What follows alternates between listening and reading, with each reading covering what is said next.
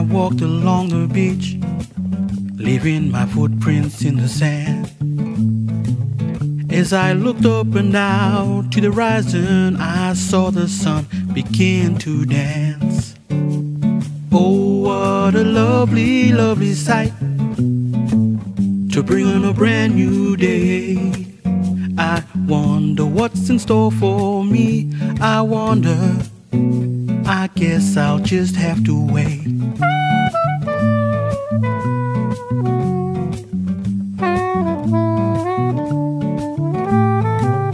It's nine o'clock, most having breakfast, except for those who stayed up late.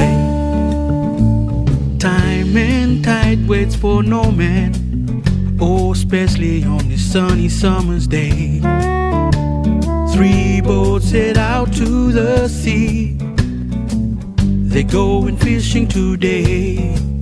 I hope they catch enough for tonight and leave some for another day.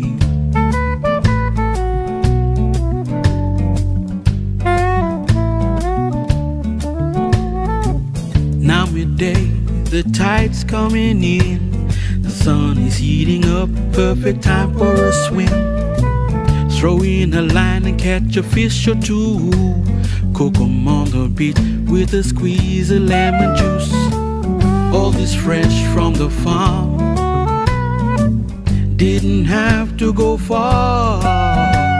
There's no place in the world that I'd rather be than with my people living by the sea.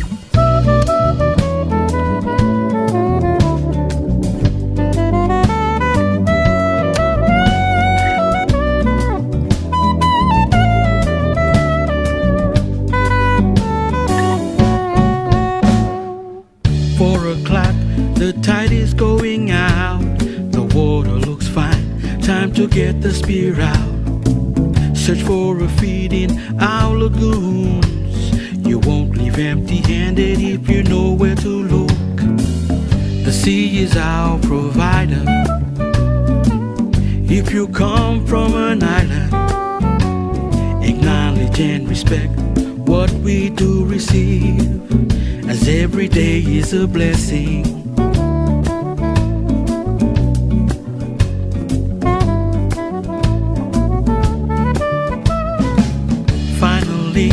The sun sets over the hills. Got to get myself moving before the tide rushes in. Take my catch, cook 'em straight on the coast. That's very hard to beat, no restaurant price for me. Throw a crayfish on the barbie. All is fresh and free. I'm lucky to call. Paul my island home. I wouldn't swap it for anything. No, I wouldn't swap it for anything. I wouldn't swap it for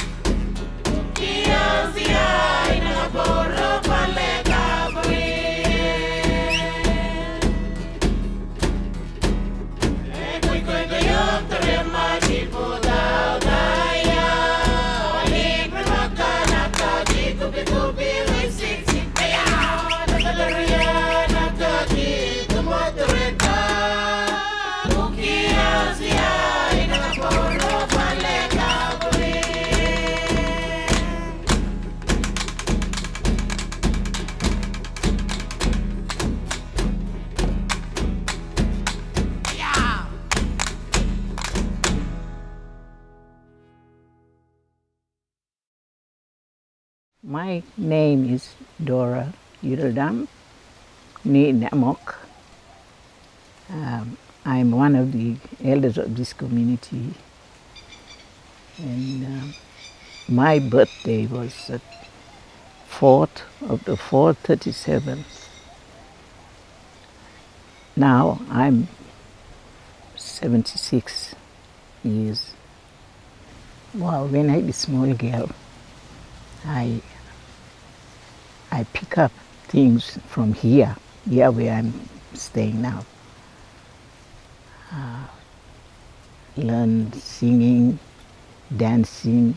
Then as I as I grew up, like you know, when I grew up, I I joined with them, uh, singing, dancing, and go everywhere, even singing in the church. I love dancing.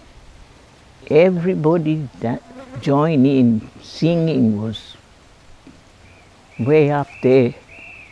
Uh, like when you sing, sing strong, you dance strong too. Yeah. They used to dance here, the other side here, other side of my flat there. Yeah. There are no houses here before. We are, we stop on them grass house, grass, grass and leaf houses. Hard life. We used to like go take. We, we got no stoves. We got no uh, like here now, no gas stove, no electric stove. We used to cook outside. Um, um, firewood and water. Water from the well. We pull bucket water from the well and carry. No matter how far the well, we have to carry that bucket come. Uh, cooking, uh, washing, swimming. It's very hard. We used to go long way, like gardening, gardening up on the hill there. Uh, from there we come down as we, in that very early age for uh, really work hard because only my mom, I have to do everything. Uh, she's my mom and my dad. Two, two of my eldest brothers, they joined the army. Uh, and this, when they, the other one, when they came back, they were lost. See? So only I got one brother left. And we work law. We used to work on Island Air, Air Street, Air, Airport. Yeah. That, that's that brother left, but he, he's gone now. Only myself, my sister, my sister work at the Gulf there, Edward River, and she passed away too. That's only leave me. Only my ancestors, we come from Mabuiag. They come here. They, uh, they speak language, but you, that that time you were very small. We know, like I know, pick up them, but like, but for now, because uh, we only talk broken here.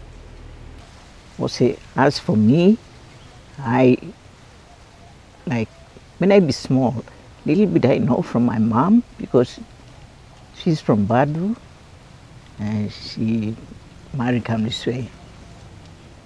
I be learned there from her. I married to Badu man again and come up here, uh, make our home here.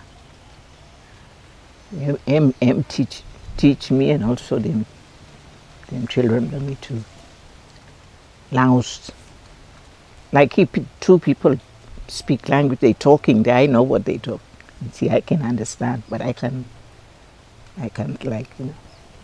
Well, like I said, like language is very important for us. Uh, we we sing. We have to know what we sing about. Uh, them like them language, them words. We have to know. Uh, like sing and dance. Uh, I always front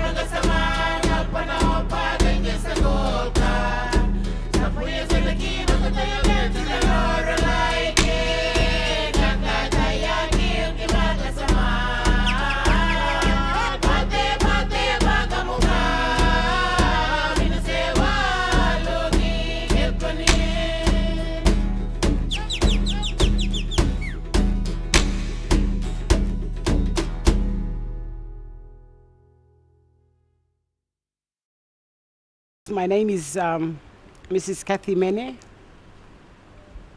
um, teacher here at St. Paul. I've taught for 35 years, and now my position in, in the school is I'm a cultural teacher, do language and culture with the kids, teach kids about uh, their identity and the protocols, teach them about island cooking, island medicine, what's important in their life. When I grew up here at St. Paul, because my dad was a minister for Anglican Church, we traveled all islands and lived on different islands for six, seven years. But being more mature, I grew up everything here at St. Paul. My dad is not a dancing man, but he always explained to us about how important dancing is. So when I was a child, I remember all that. But because he wasn't a dancer, he danced, but not regularly for anything. But he was a minister for Anglican Church. Early stays here at St. Paul, the past, we used to walk from here to Kubin if there's a festivity festi- uh, happening at Kubin. For example, Church Day. People of St. Paul, we usually walk. That's in the past. And very healthy people lived here. Come to our stage, we had tractor. There was no four-wheel drive. Walk, tractor, horseback, and then today we've got 100 series we can do 100 series from here to Kubin and back. Things very easy today. But I prefer the style that I brought up where my parents taught me about cultural thing, gardening. Not to buy fruit and veggies from the shop. Plant your own. We don't get sick when we plant our own and eat from our own garden. We buy stuff from the IBIS store. We got sick. There's a lot of diabetics around here. There's a lot of people with sicknesses around here. But as a cultural teacher, I'm teaching that to the kids. Don't get lazy. Plant. And today people are healed from bush medicine, telling them about the bush medicine, how to use those medicine. For example, aubao, which is noni, and popo and the, and the raw fruit that we boil and we drink that. And I like to pat, pass that knowledge and that knowledge down to these kids here so that they can learn. But every time when they going through any problem or bullying, I always talk to the kids about how important is he's here at school. The kids, your parents, I taught, they never bully or tease in here. Now it's your day. You should be showing loving and caring person to one another.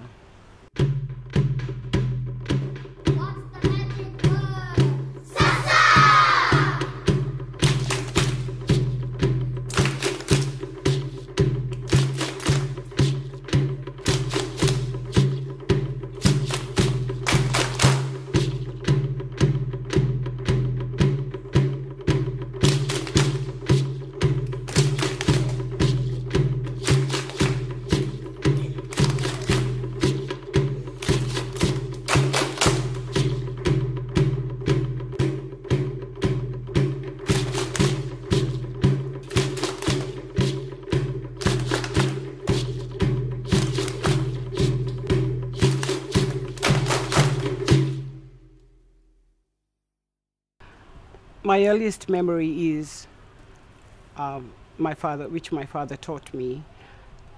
Um, to identify yourself as a Torres Strait Islander, I had to grasp all those things that the islanders, our forefathers, used to do, which is dancing, uh, to identify yourself as a Torres Strait Islander, dancing, singing, songs with meanings that we use, And every time I introduce that to the children, it really touches me because I understand the language and I explain the language to the kids. Because coming from English as a second language or third language, and the children I'm teaching now, modern kids, English is their second language, so they need to know about their own language before they can speak standard Australian English.